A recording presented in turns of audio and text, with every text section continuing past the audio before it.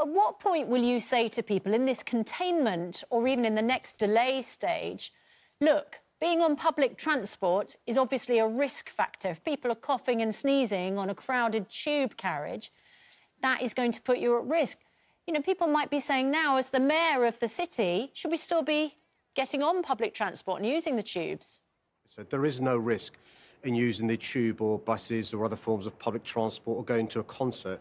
Uh, the advice from the experts how, how is do you know to, that, Mr. Mayor? many times a day. Mr. Mayor, no, no disrespect, but how No, on earth can you that, say please. that in a city of 12 million people, there is no risk, given that we now know it's here and it's beginning to spread here, and we know that in other countries the spread has been ferocious, places like Italy, Iran, and others. How can you say, as mayor of London, there is no risk to people using public transport?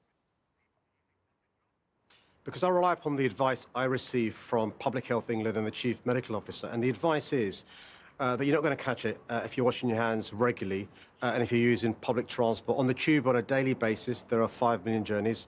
On our buses, 6 million journeys. There is no risk in using the tube or buses or other forms of public transport or going to a concert.